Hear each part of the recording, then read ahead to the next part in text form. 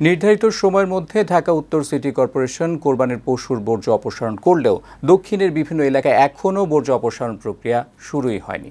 সেসব এলাকায় এখনও আবর্জনার স্তূপ রয়েছে। তবে নির্ধারিত সময়ের মধ্যেই শতভাগ বর্জ্য অপসারণ সম্ভব হবে বলে আশাবাদী দক্ষিণ সিটি কর্পোরেশন প্রশাসন।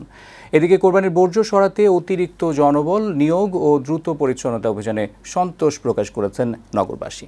কাজী বাপ্পার রিপোর্ট।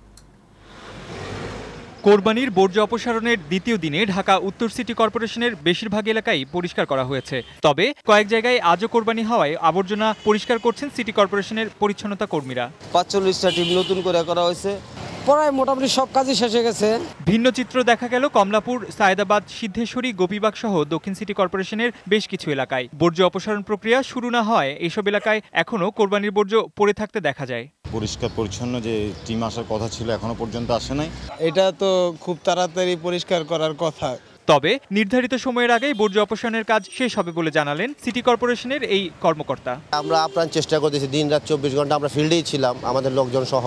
এবারে কোরবানির বর্জ্য অপসারণের কাজে অতিরিক্ত জনবল নিয়োগ এবং নির্ধারিত সময়ের আগে বর্জ্য অপসারণ করায় সন্তুষ্ট নগরবাসী। ওয়াশার গাড়ি এসে সন্ধ্যার পরে একটা ওয়াশার মানে ও সাব বৃষ্টির মতো আর কি করে দিয়ে গেছে। আমরা মোটামুটি স্যাটিসফাইড আগের তুলনায় তারা বেশ অ্যাক্টিভ ছিল। রাজধানীর যেসব এলাকায় আজ ও আগামীকাল কোরবানি হবে তাৎক্ষণিকভাবেই সেসব বর্জ্য পরিষ্কার করা হবে।